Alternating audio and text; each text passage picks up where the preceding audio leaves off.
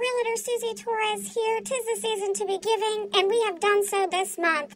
We donated several bags of toys for tots. We are currently fostering two amazing Chihuahua puppies for Dorchester Paws, and had the awesome experience to go with my sister-in-law Lisa Tarosi to donate to the Gibbons Sanctuary, the International Primate Protection League, here in Summerville, South Carolina.